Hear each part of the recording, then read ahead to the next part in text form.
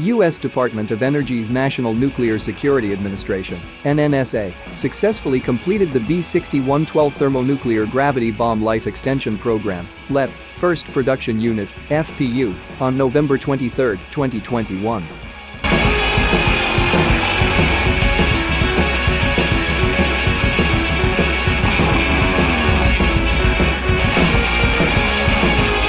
B61-12 is the latest variant of the B-61 family of air-launched nuclear gravity bombs, which have been operational with the U.S. military since 1968. The new variant is intended to improve nuclear capabilities of the U.S. Air Force and allied nations. B61-12 is the latest variant of the B-61 family of air-launched nuclear gravity bombs, which have been operational with the U.S. military since 1968.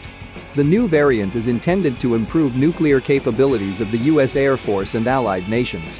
The bomb can be air-launched by the aircraft platforms such as B-2A, F-15E, F-16CD, F-16MLU, PA-200, F-35, and B-21.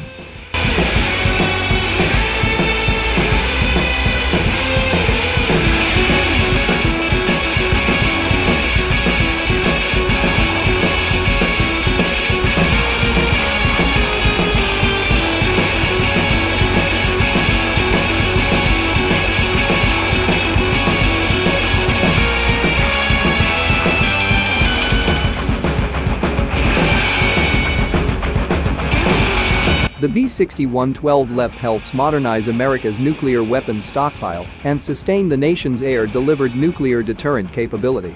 The nuclear security enterprise, in close coordination with the U.S. Air Force, worked together to deliver the B61-12 FPU after more than nine years of design, development, qualification, and component production. The work on the B61-12 will also ensure the warhead can be air-delivered on both current and future platforms to meet Department of Defense requirements.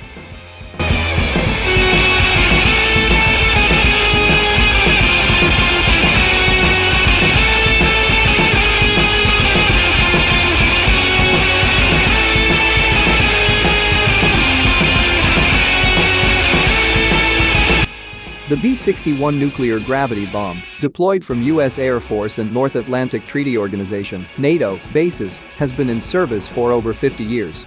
Many modifications have been made to improve the B-61's safety, security, and reliability since the first B-61 entered service in 1968, and four B-61 variants remain in the stockpile.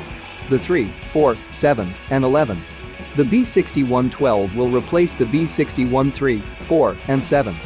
The B61-12 LEP refurbishes, reuses, or replaces all of the bomb's nuclear or non-nuclear components to extend the service life by at least 20 years. The B-61 LEP will also continue to assure the weapon's safety, security, and effectiveness. NNSA anticipates starting full-scale production in May 2022 and completing all needed production in FY 2026.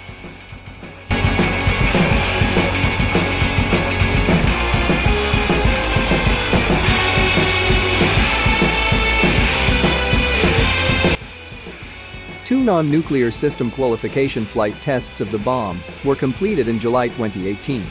The B61-12 non-nuclear test bomb assembly was released by a B-2A Spirit bomber during the tests. The B61-12 nuclear bomb completed its successful flight tests with the U.S. Air Force's F-15E in June 2020.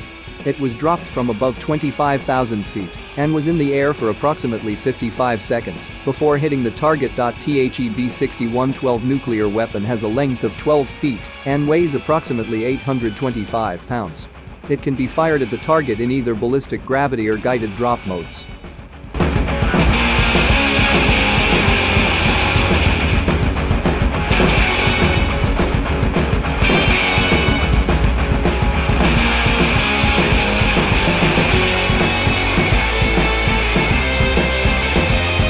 The B61-12 consolidates and replaces four older versions in the nation's nuclear arsenal. It's outfitted with a new tail kit assembly and other hardware. The B61-12 consolidates and replaces four older versions in the nation's nuclear arsenal. It's outfitted with a new tail kit assembly and other hardware